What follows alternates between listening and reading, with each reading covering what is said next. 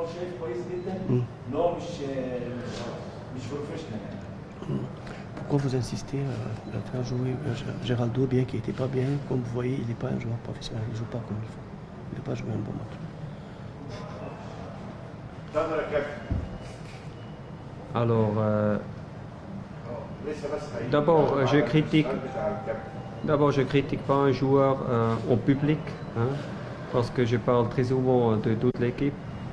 Et après, euh, oui, peut-être il a des actions euh, qui n'ont pas vous plu, mais moi je ne suis pas d'accord avec euh, ça que vous avez dit, parce que euh, euh, il a aussi ses qualités, euh, mais peut-être il n'est pas très efficace. hein, euh, qui concerne le jeu offensif, mais je ne suis pas d'accord parce que pour moi c'est tout le temps toute l'équipe qui gagne et qui perd.